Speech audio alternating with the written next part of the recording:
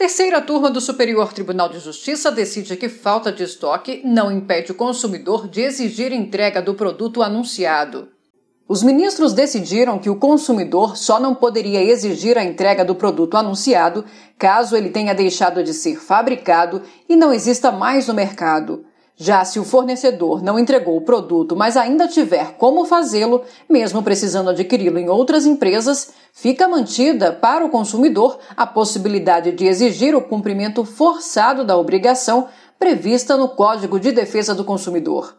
Com esse entendimento, a terceira turma reformou o acórdão do Tribunal de Justiça do Rio Grande do Sul, que após o descumprimento da entrega de mercadoria comprada pela internet em razão da falta de estoque, entendeu que a cliente não poderia optar pelo cumprimento forçado da obrigação, devendo escolher entre as demais hipóteses previstas no Código de Defesa do Consumidor, como aceitar produto equivalente ou rescindir o contrato com restituição da quantia paga.